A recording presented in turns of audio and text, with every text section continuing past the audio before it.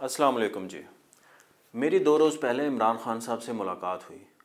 मुलाकात के दौरान मुझे दो शेर बहुत याद आए। एक हज़रत अमीर खसरो का और एक इंडिया के शायर हैं नजमी नगरमी। उनका शेर मुझे याद आया। अमीर खसरो का शेर चूँकि फ़ारसी में है तो उसका मैं तर्जमा आपको बयान करता हूँ। बेकरारी, बेलगाम हो जाए तो बेअसर हो जाती है। इस तरह आखिरी हदों को छूने लगे तो उसे काबू करना नागुजीर होता है। और अगर किसी चीज़ को पाने की ख्वाहिश आपकी शख्सियत को धुंधला दे तो इसे अकल वालों के हाँ नाकामी तस्वर किया जाता है। जबकि दूसरा शेर यूँ है, बेताबियाँ समेट के सारे जहान की, जब कुछ न बन सका तो मेरा दिल बना दिया। खान साहब से मैं जो है ना, दो साल के बाद मिल रहा था। जब मेरी उनसे 2021 जनवरी 2021 में मुलाकात हुई तो उस वक्त वो प्राइम मिनिस्टर थे, मगर वो उस वक्त बहुत ज़्यादा चुप रहते थे। खामोशी उनकी शख्सियत के ऊपर आया थी। मगर जब मैं इस बार मिला तो खान साहब बहुत ज़्यादा मुस्तरब थे, बेचैन थे, बेकरार थे। गुस्सा जो है ना उनके लहजे में था और तलखी जो है ना उनके लफ्ज़ों में थी। तो उन्होंने बैठते ही शहबाज हुकूमत की जो है ना बुराइयाँ शुरू कर दी और अपनी हुकूमत जो उनकी थी ना उस वक़्त की, उसकी खूबियाँ बयान करना शुरू कर दी। वो बहुत बेतकल्फ़ी से बात कर रहे थे, उन्हें ऐसे लग ही नहीं रहा था कि वो साफ़ियों से बात कर रहे हैं या अपने वर्कर्स से बात कर रहे हैं। उन्होंने बैठते ही पहले हमें बताया कि कैसे उनकी हुकूमत जनरल बाजवा ने गिराई। कि उनको शहबाज शरीफ की हुकूमत कैसे बनाई और उनको लाने का मकसद क्या था और उनकी हुकूमत गिराने का मकसद क्या था। दूसरा जो इतिहादी थे, वो कैसे टूट के गए और उनको किन के कहने के ऊपर तोड़ा और उनकी पार्टी किसके कहने पे टूटी। उन्होंने सारे की डिटेल के अंदर उसके ऊपर गुफ्तु की। उन्होंने हमें कहा कि ये एक जहाद है। गवर्नमेंट के ख़िलाफ़ भी जहाद है और जो इस्टेबलिशमेंट है, उसके ख़िलाफ़, ताकतवर हलकों के ख़िलाफ़ भी जहाद है। और आप लोग जो है ना, सहाफ़ी हजरात, मेरा इस जहाद के अंदर साथ दें। ये बात सुनते ही मेरा जो माथा है ना, वो ठनका और मैंने अपने साफ़ी दोस्तों की जानब देखा, मगर वो सब खान साहब को सुनने में मसरूफ़ थे। मेरी दानिश के अंदर खान साहब को ये बात नहीं करनी चाहिए थी। भला एक सहाफ़ी का क्या ताल्लुक सियासत के साथ? घोड़े और घास की कोई दोस्ती हो सकती है? ये तो मुमकिन ही नहीं है ना, घोड़े और घास की दोस्ती हो जाए। तो सहाफ़त एक डिफरेंट चीज़ है, और सहाफ़त तो है ही अवाम की तर्जमानी, मगर हमारे पॉलिटिशियन कहाँ करते हैं अवाम की तर्जमानी? वो तो नहीं करते। वो तो अपने ज़ाती और ग्रोही मफादात को बालातर रखते हैं, कौमी मफादात को भी वो उस तरह से तरजीह नहीं देते, अवामी मफादात को भी वो उस तरह से तरजीह नहीं देते। तो सहाफ़त तो भाई है ही अवाम की तर्जमानी। अगर आप सहाफ़त से अवाम की हमदर्दी निकाल देंगे तो आपके पल्ले तो कुछ भी नहीं पड़ेगा। ये जहाद है, होगा, ये एक सियासी नैरेटिव है, मगर सहाफ़त का उसके साथ कोई ताल्लुक़ नहीं है। मौलाना ज़फ़र अली ख़ान ने कहा था कि जो कलम है ना, वो सहाफ़ी का ज़मीर होता है। अगर जो उसका ज़मीर ही जो है ना पसंद और नापसंद के ताबे हो जाए तो फिर वो अपने ज़मीर की आवाज़ उसे सुनाई नहीं देती। सहाफ़त का कोई ताल्लुक़ नहीं है। जो सहाफ़ी हैं, जो तर्जमानी करते हैं हुकूमतों की, मेरे नज़दीक वो सहाफ़ी नहीं हो सकते। होते हैं, मुख्तलिफ़ चैनल्स में काम कर रहे होते हैं, मुख्तलिफ़ अखबार के साथ वाबस्ता होते हैं, मगर वो जिस तरह से तर्जमानी करते हैं, उन्हें नहीं करनी चाहिए। मुझे वो भी वक्त याद है जब ये प्राइम मिनिस्टर थे और गिला किया करते थे कि जी टी वी चैनल्स जो है ना हमारे बुरे कामों को या हमारी महँगाई को या हमारी मुआशी पॉलिसियों पे तो बहुत तनकीद करते हैं, मगर हमारे अच्छे कामों को नहीं दिखाते। अच्छे काम आप कर रहे हैं तो उसमें खबरियत क्या है? हमारे लिए क्या अट्रैक्शन है? भैया, आप तो वोट लेके इसी इसी उसके ऊपर आते हैं। आवाम से क्या वोट मांगते हैं? हम आपके लिए भलाई के काम करेंगे। हम आपके लिए डेवलपमेंट का काम करेंगे। हम आपकी फलाह के लिए काम करेंगे स्कूल बनाएँगे हॉस्पिटल्स बनाएँगे।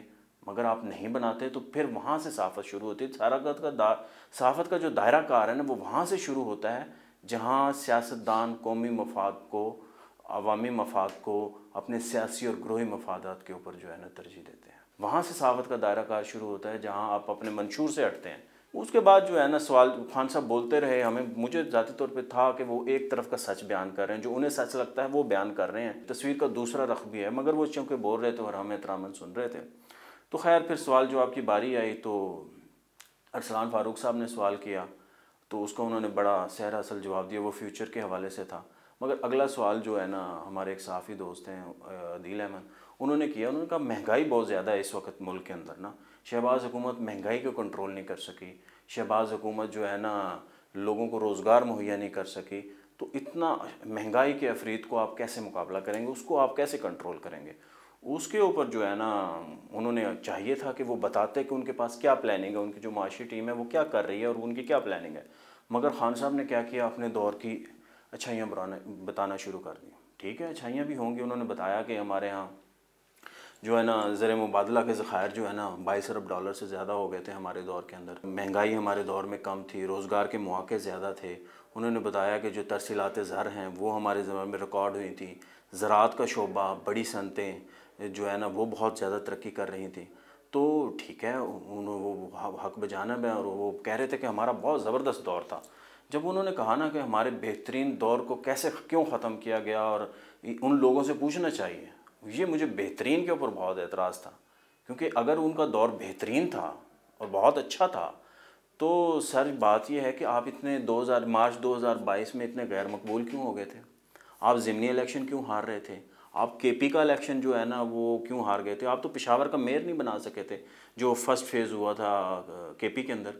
तो अगर आप इतने ही मकबूल थे तो लोग, आपकी पार्टी क्यों टूट रही थी? आपकी काबीना, आधी काबीना आपकी दूसरी जमातों के साथ जो है ना, रबते कर रही थी और उन्हें कह रही थी कि, जनाब हमें अपनी पार्टी में ले लो। वो तो राना सनाउल्ला साहब ने पंजाब के अंदर उनको लिफ्ट नहीं कराई ज़्यादा। वो जितने लोगों को एडजस्ट कर सकते थे, उनको किया। मगर बाकी लोगों को उन्होंने एडजस्ट नहीं किया। आपकी हुकूमत टूटनी ही नहीं थी अगर आप मकबूल होते। उसके बाद जो है ना, मैं इन्हीं सोचों के अंदर गुम था कि मेरे सवाल की बारी आ गई, खान साहब को चुप हो गए।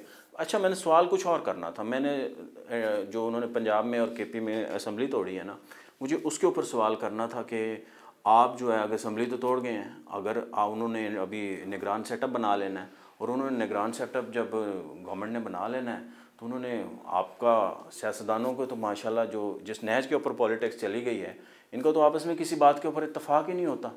तो इन्होंने न वज़ी अला ने बनाना है और अपोजिशन लीडर के अंदर बननी है, ना कमेटी के अंदर फैसला होना, ये अल्टीमेटली जाना है इलेक्शन कमीशन के पास। उनके पास दो तीन दिन होंगे और उसके अंदर वो डिसाइड कर देंगे जो। अब वो जो नाम होंगे, अगर आप कह रहे हैं कि जनाब खान साहब फरमा रहे हैं कि इलेक्शन कमीशन उनके ख़िलाफ़ है, अगर है तो खान साहब, फिर इलेक्शन कमीशन तो आपका बंदा नहीं लेगा। अगर आप, आपके बकौल, मुझे नहीं पता। मेरिट्स और डी मेरिट्स तो डिफरेंट हो सकते हैं मुख्तलिफ़ कैंडिडेट्स के। आप कह रहे हैं कि जो मुल्क के मुख्तर हल्के हैं, वो आपके ख़िलाफ़ हैं। और आपको नज़र नहीं आ रहा कि जन जनरल बाजवा की जो लेगसी है, वो अभी तक काम कर रही है और वो आपके, आपने ये भी कहा। तो अगर वो काम कर रही है तो इसका मतलब है कि आप, कि वो भी नहीं है। उसके बाद अगर नून लीग का कोई नुमाइंदा अगर आता है अगर वो आपके बकौल वो आपने नामों पे एतराज़ भी किए हैं तो फिर वहाँ पे पंजाब के अंदर जो ब्यूरोसी होगी, पुलिस होगी, वो भी ज़ाहिर है उनकी मर्ज़ी से होगी। तो आप, या फिर ये भी हो सकता है कि फ़ाइनेंशियल इमरजेंसी लग जाए और छः महीने के लिए आइन के अंदर मौजूद है गुंजाइश मौजूद है तो फाइनेंशियल अगर इमरजेंसी लग जाती है तो फिर तो ये बहुत आपके लिए भी जो है ना जो है ना बड़ी ख़तरे की बात होगी और आप इलेक्शन में, अगर इलेक्शन में जाते हैं तो दूसरी वजह से आप हार सकते हैं। मेरा सवाल ये था, मगर चूँकि उन्होंने अपनी मीशत के ऊपर बात की तो मैंने फिर उनसे सवाल, मेरे अंदर के साफ़ी ने करवट ली। मैंने कहा, जी मीशत पर बात करते मेरे उसी वक्त जहन में आया।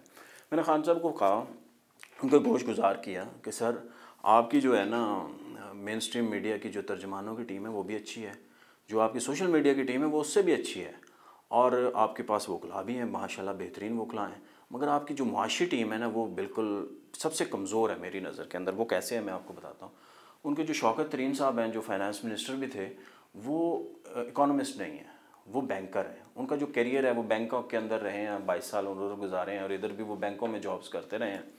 तो उनका बैंकिंग का जो है ना एक्सपीरियंस है। अब एक बैंकर अगर इकॉनमी को चलाएगा, जो इकोनॉमिस्ट नहीं है तो वो मुआशी पॉलिसी कैसे बना सकता है? मेरे नज़दीक तो वो माशी पॉलिसी नहीं बना सकता। वो ऐसे ही है कि 92 का वर्ल्ड कप का फाइनल चल रहा हो और खान साहब, मोइन खान के पास जाए, मोइन खान को कहें ग्लव्स उतारो और ये बॉल पकड़ो और वसीम अकरम की तरह जो है ना बॉलिंग करके दिखाओ और विकटें लो। विकेट कीपर के पास जो है ना क्रिकेट का बहुत ज़्यादा नॉलेज होता है, मगर वो वसीम अकरम की तरह बॉल तो नहीं कर सकता ना, ये ऐसे नहीं हो सकता। इकोनॉमिस्ट जो बैंकर है, उसके पास भी नॉलेज तो होगा, ज़ाहिर है, मगर वो मुआशी पॉलिसी नहीं बना सकता। असद उमर साहब है, उनका मैनेजमेंट का एक्सपीरियंस है, हमाद साहब है, वो बैरिस्टर हैं, वैसे ही। तो यही उनकी मुआशी टीम है। उमर अयूब साहब हैं उनका भी, उन्होंने भी एमबीए किया हुआ उनका भी कोई इस तरह से मीशत का वो नहीं है। पूरी पी टी आई के अंदर कोई इकोनॉमिस्ट नहीं है। मैंने कहा, खुदा का खौफ करें किसी इकोनॉमिस्ट को लेके आएँ। आप जो कह रहे हैं जो हफीज़ शेख के ज़माने में इकानमी बेहतर थी। हफीज़ शेख के अंदर जो, जब इदारा जाती असलाहत हो रही थी, उस वक्त चीज़ों को कंट्रोल किया हुआ था, उस वक्त ठीक है, उस वक्त थोड़ी सी मामला कुछ सेक्टर में होते हैं, जब आप चीज़ों को कंट्रोल करते हैं, आप अपने खसारे कम करने की कोशिश करते हैं, ज़ाहिर ग्रोथ कम होती है। मगर जो चौकत तरीन साहब आए तो ये इन्होंने ग्रोथ के चक्कर के अंदर इन्होंने सारी मीशत को बेड़ा कर दिया मेरे हिसाब से। वो कैसे किया, मैं आपको बताता हूँ। ग्रोथ जब इन्होंने बढ़ाई तो उसकी हमने कीमत क्या अदा की?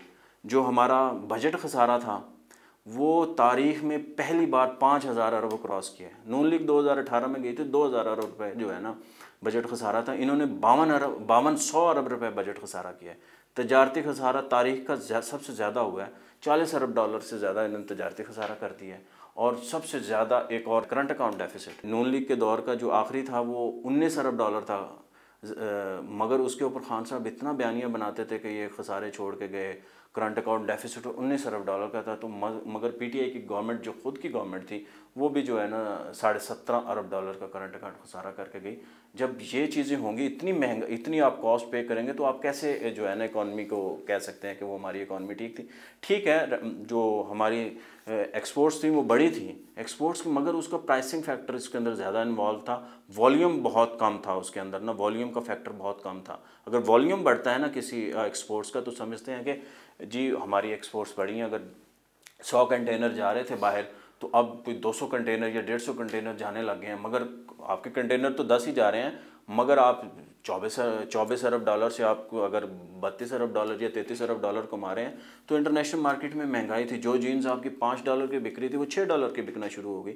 और जब छः डॉलर की बिकेगी तो ज़ाहिर पैसों की सूरत में हमें पता चलेगा कि वो उससे उससे आप ये नहीं कह सकते कि आपकी जो है ना, उसके अंदर एक्सपोर्ट्स में इजाफा हुआ है। हाँ कुछ सेक्टर में हुआ टेक्सटाइल में हुआ, मगर उससे, उसको देखा जाए तो फिर हमारी गंदम जो हम एक्सपोर्ट करते थे वो कम हुई, चीनी जो एक्सपोर्ट करते थे वो कम हुई। तो वो कॉटन जो था उसके अंदर वो आया तो वो बैलेंस हो गया। कोई बहुत ज़्यादा फ़र्क नहीं पड़ा। अगर हम सौ पहले भेज रहे थे कंटेनर तो अभी एक सौ पाँच भेज रहे होंगे। ये इसको मेजर वो नहीं कह सकते। तो उसके ऊपर मेरा, मैंने कहा आप, खान साहब, मैं चाहता हूँ कि आप जो है ना कामयाब हों। मैं ये नहीं चाहता कि 2018 में आप जैसे आए थे।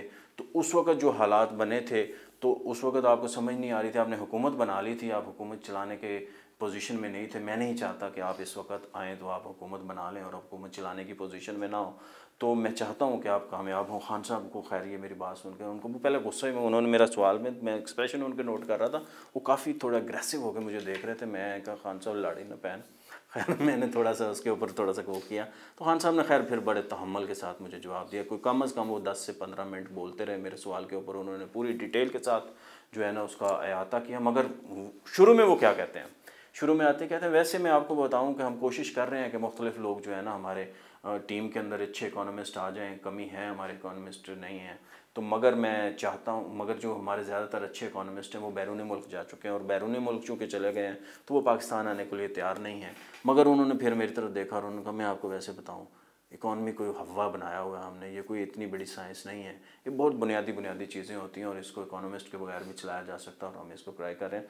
मेरे दोस्त थे राना नवीद साहब, वो सामने बैठे थे राना नवीद और बड़े सीनियर साफ़ी हैं, वो बैठे हुए थे तो मैंने उनकी तरफ़ देखा और मैं मुस्कराया तो वो भी ज़ेर ज़र लब मुस्करा दिए। और उसके बाद मीटिंग चलती रही, उसका अहवाल मैं फिर आपको आगे चल के बताता हूँ। मुझे दीजिए इजाज़त, अल्लाह हाफ़िज़।